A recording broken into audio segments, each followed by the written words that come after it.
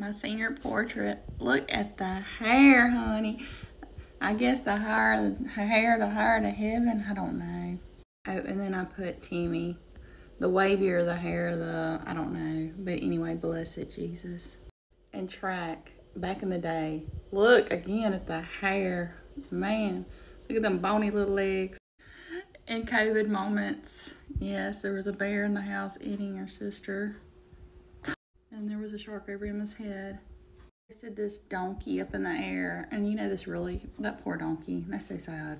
And then I started talking in that picture with that donkey up in the air. I started talking about a yoke and how my dad, back in the day when he did gardens, he'd have a yoke around the donkey and would pull the plow and do the garden and stuff. That poor mule, it really took a, y'all, cat.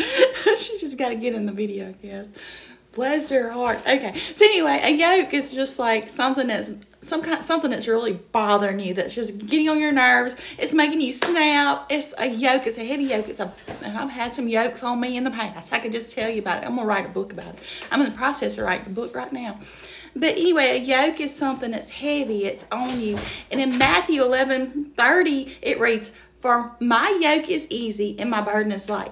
Jesus when we cast it on him there is some way somehow i can't explain it. It's a god thing. He makes your problems so much easier in your life. So when you wake in the morning read you some psalms read you some word because his word is life and he's going to speak to you and pray and he'll make your your load so your load so much easier today. Don't spit all over myself. Y'all have a blessed one. Jesus loves you and keep the faith and just let those yokes give them to jesus because he's got this